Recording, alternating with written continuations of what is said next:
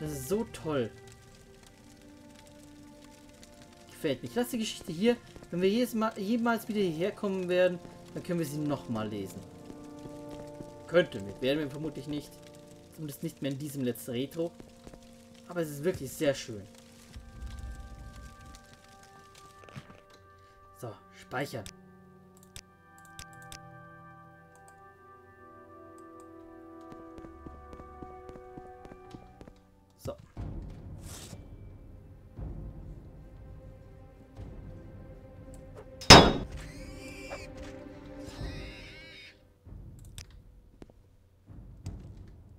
Gut.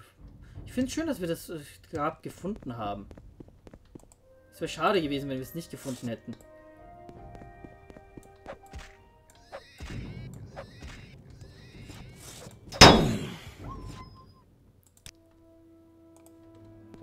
So. Oh, Moment mal. Ist das hier schon wieder einer dieser Baumstämme oder Steine oder so?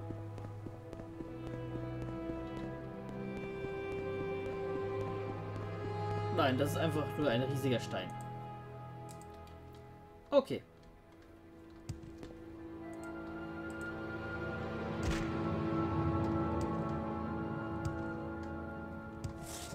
Hallo, junge Dame. Ihr hättet euch einen leichteren Gegner aussuchen sollen. Noch leichter?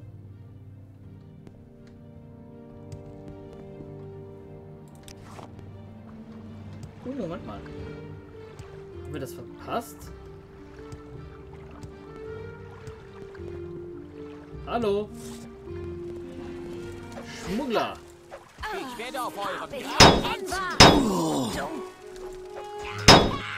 Einem Schlag. Auch mit einem Schlag. Wieder ein paar Schmuggler weg. Sonne des Großmeisters. Lebensenergie wiederherstellen. Boah, ich finde die Wolfssachen und so richtig toll. Hier Bärenhelm. Ähm, Bärenfell Harnisch. Richtig schön. Dietrich des Meisters. Toll. Auch der Wolfsharnisch sieht richtig schön aus. Ah, eine Perle. Rechter Wolfshandschuh. Und hier hat die, glaube ich, ein... Ähm, eine Wolfsschulterplatte. Hier, da sieht man den Kopf leicht vom Wolf. Sehr schön.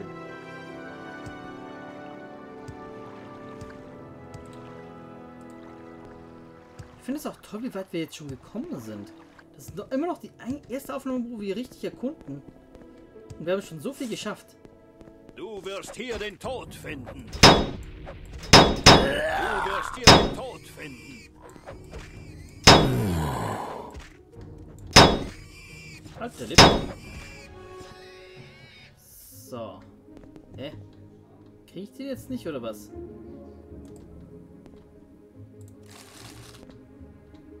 Na toll. Der ist hier wahrscheinlich wegen dem Baum hier... Ach, na toll. Kriegen wir ihn nicht. Hä? Altar von Thront?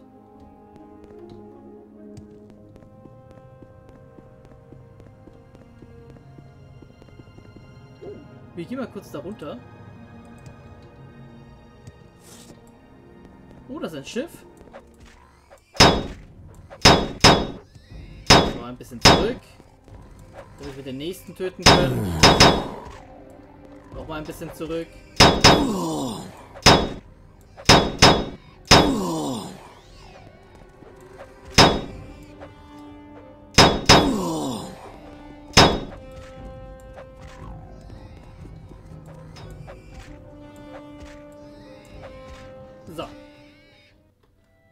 Der hat nichts für uns, nichts für uns. Ah, ein bisschen Leder.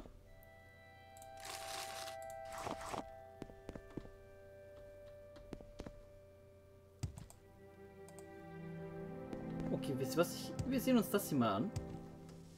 Sieht nach Thema aus. Ein Schneewolf!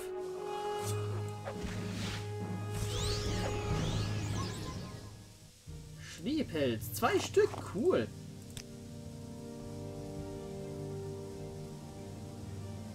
Schneewolf. 1000.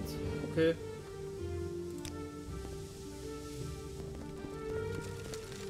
Kapitän Roberto. Ist mal gestorben. Journal des Windschiff. Das Windschiff! Wir haben es gefunden! Wir haben das Windschiff gefunden, Leute! Hier! Das verschwindende. Nein, das Windschiff aus Flicken. Das Windschiff ist bis jetzt nicht zurück. Ja, wo ist es? Ähm, Solzam fliegen und nach einem Hügelgrab im Auge einer wolfsförmigen Felsformation namens Rotmunds Flug suchen, die nur aus der Luft zu erkennen ist. Um mir das Hügelgrab zu gelangen, muss man den Namen des Wolfes, der Hoffnung tötete, aussprechen. Und jage. Und jage, okay. Tagebuch von Kapitän Roberto Judoin. Kommandant Bouchon Expedition. Eintrag 1. Heute ist es soweit. Beauchamps Windschiff scheint stabil genug zu sein und die Mannschaft ist bereit, die Segel zu setzen. Wir werden in Richtung Nord-Nordwest reisen, bis wir die Insel Solzheim erreichen. Laut Beauchamps Angaben liegt die Rothmunds Fluch genannte wolfsähnliche Formation irgendwo in der Nähe der Mösringberge. Das Hügelgrab, das wir erforschen wollen, befindet sich beim Wolfsauge. Wir werden Beauchamps kostbaren magischen Gegenstand holen und in einigen Tagen zur Gilde der Magier zurückgekehrt sein. Was könnte dabei schon schiefgehen? Eintrag 4. Verdammte Beschwörer, Hexenmeister, Erfinder, Wissenschaftler und ihre gesamte akademische Sippe. Beauchamp hatte mir versprochen, dass ein Windschiff halten würde und es genau wie ein Schiff auf dem Meer zu segeln sei. Alles Lügen! Diese Monstrosität steht kurz davor auseinanderzubrechen. Wir verlieren immer wieder einzelne Teile, seit wir Aldrun verlassen haben. Erst vor einer Stunde haben wir eines der trimerischen Zahnräder des Hauptantriebs verloren. Dies eine Fregatte oder eine Schaluppe wäre, würde ich sie schon durch durchbringen. Aber zu versuchen, ein Windschiff zu steuern, ist, als würde man in einem Fass mit einem Löffel als Ruder in den See stechen. Eintrag 6. Land in Sicht! Eintrag 7. Es ist nicht ungewöhnlich, dass ein Matrose ein wenig nervös wird, aber der Agonia hatte vollkommen den Verstand verloren. Ich hatte ihm, bevor wir Aldon verließen, wiederholt gesagt, dass ein Windschiff am Himmel segelt und nicht auf dem Wasser. Er meinte, dass er verstanden habe, aber seine Furcht vor der Höhe muss schließlich die Oberhand gewonnen haben. In einem Zustand der Raserei ergriff er das Steuerruder und hatte, hätte uns beinahe hinunter ins Meer stürzen lassen. Mir blieb nichts anderes übrig, als ihn zu töten. Schwimmt in den Wellen war sein Name und bis zu diesem bedauerlichen Zwischenfall war er ein gutes Mitglied unserer Mannschaft. Ich hätte ein Seebegräbnis vorgezogen, aber in Anbetracht unserer Situation blieb uns nichts anderes übrig, als ihn über Bord zu werfen. Wir haben aufs Meer gezielt, aber das Windschiff trieb mittlerweile über Solstheim. Daher fürchte ich, dass wir das Wasser verfehlt haben und sein Körper irgendwo an der Südostküste gelandet ist. Mal sehen, ob wir den noch finden irgendwann. Eintrag 9. Wir haben Hoffmanns Fluch gefunden. Wenigstens darin hat Beauchamp recht behalten. Die Wolfsformation erstreckt sich von West nach Ost mit dem Kopf und Auge am östlichen Ende. Wir werden nach einem Landeplatz suchen und dann das Rosmund-Hügelgrab erkunden. Vorausgesetzt, dass sich Beauchamp nicht wieder in der Lage geirrt hat. Ich muss außerdem anmerken, dass wir langsamer vorankommen, als mir lieb ist. Es ist eine fürchterliche Kälte in der Luft und ich traue den dunklen Wolken nicht, die sich über den Bergen zusammengezogen haben. Eintrag 11 wir wurden von einem Schneesturm heimgesucht, wie ich ihn noch nie erlebt habe. Ich hatte einen Sturm befürchtet, aber so etwas hätte ich mir nie und nimmer vorstellen können. Bouchons Konstruktion bricht den an den Nähten auseinander. Und ich glaube nicht, dass wir unsere Höhle halten können. Man kann nirgendwo landen. Doch landen müssen wir. Eintrag 12. Tot. Alle sind tot. Ein Tod. Äh, der größte Teil der Mannschaft wurde bereits beim Absturz des Windschiffs, Windschiffs getötet, da fehlt das I. Die wenigen Überlebenden fielen schnell der Kälte zum Opfer. Nr. Nur, ich überlebte, da fehlt das U, muss Lager machen. Schnee blockiert mir den Weg in den Lagerraum des Schiffes. Ich gehe am Morgen, da fehlt das O, in das Hügelgrab. Ich kn kann kaum schreiben. Ach so, ach so, das ist Absicht.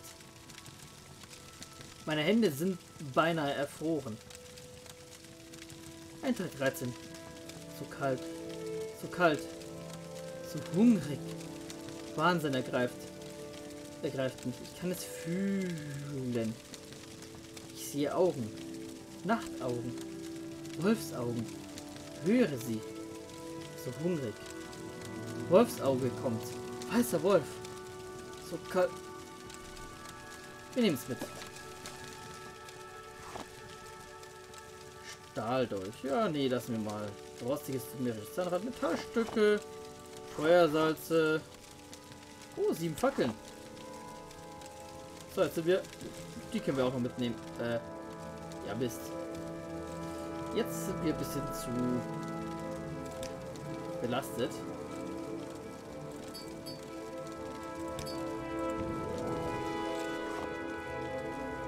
So, das ist ein Lagerfeuer. Manolos Virit.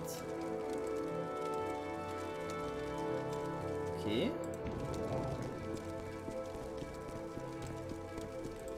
Also, das hier soll offenbar das Wolfsauge sein. Postmanns... Oh, da! Es wurde uns auf der Karte markiert, so wie es aussieht.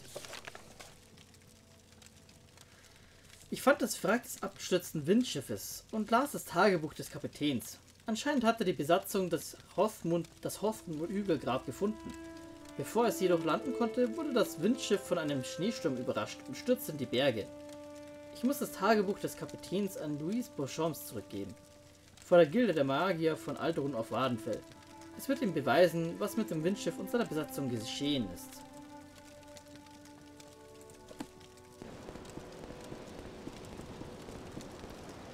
Eine Zwergenstatue, na lol.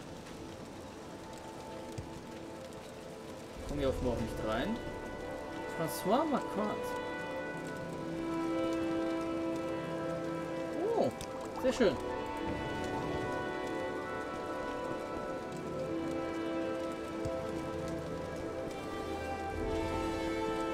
Der Windsturm, so wie es aussieht.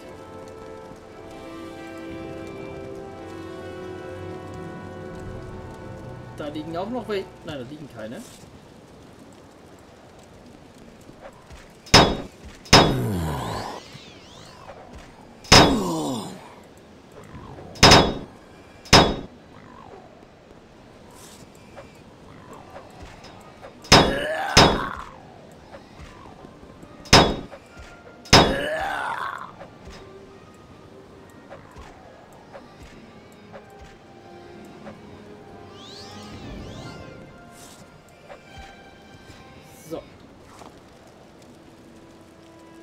Eigentlich mit meinem Schild? Ja, das ist fast kaputt.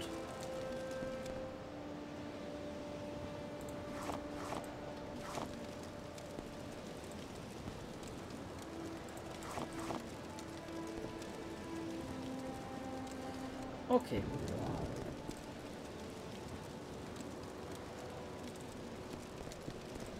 So, wie wollte ich jetzt eigentlich weiter? Ich wollte jetzt eigentlich hier so nach oben, dann nach rechts weiter. Und dann habe ich das Schiff gefunden.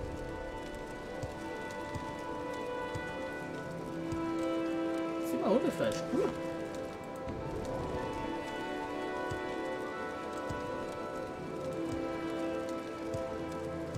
Ich wollte eigentlich, eigentlich wollte ich diesen Altar, Altar finden.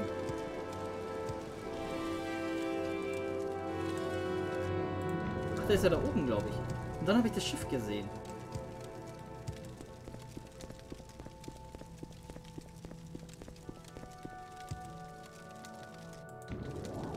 Okay, also hier wäre ein Altar.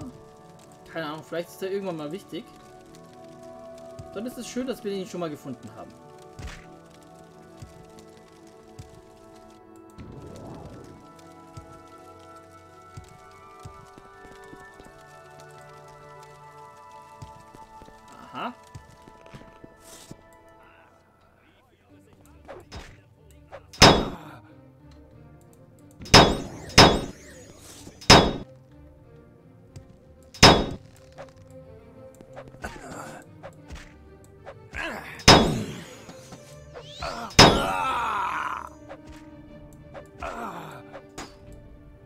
Schild mit einem Schlag zerstört. Heftig. Spätere Rüstung hat sich auf 50 Punkte erhöht.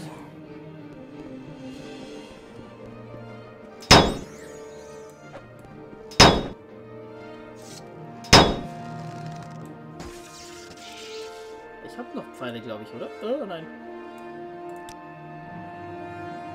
Nein, das war's.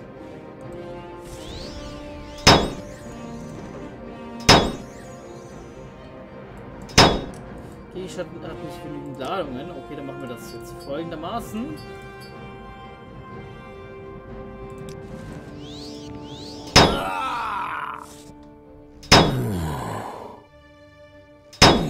Irgendwann bleibst du schon mal hängen.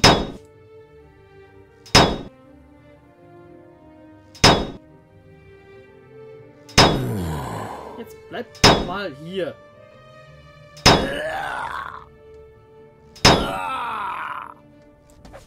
Jetzt, endlich. So, oh, Stahlpfeile. Sehr schön. Oh, der hat uns aber weit weggeführt.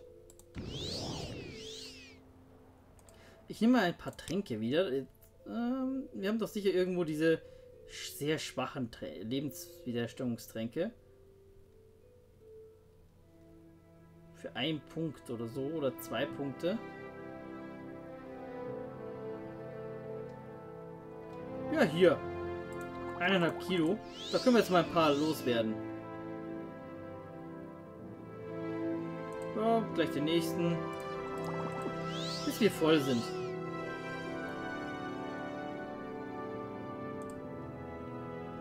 Oder, oder sie weg sind. Sonne des Großmeisters, schreckliche Frostpfeile, grausame Frostpfeile, Stahlpfeile. Jetzt können wir wieder schießen.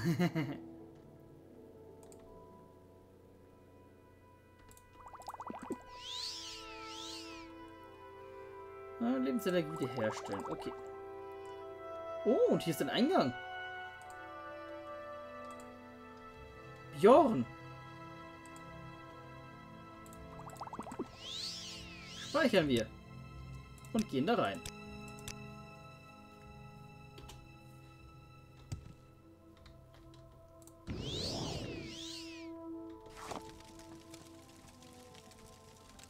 War hier ja noch nicht, oder? Nein. Gehen wir erstmal hier entlang. Oh, was haben wir denn da? Oh, Dietrich des Großmeisters, Lebensenergie wiederherstellen. Ah, da könnten wir eigentlich gleich den nächsten wieder nehmen. Eiszapfen. Okay.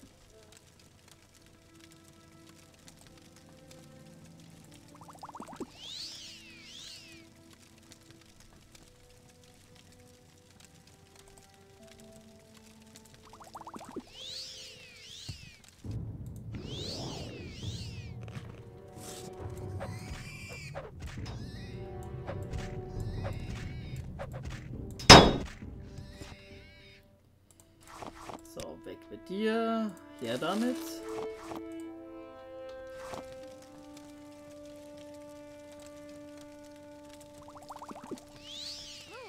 das ist mal ein Kampf.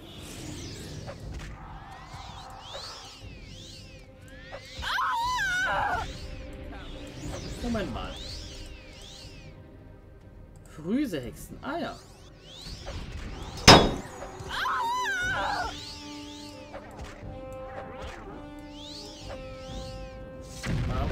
Kann ja jetzt wieder schießen. Warum mache ich das nicht?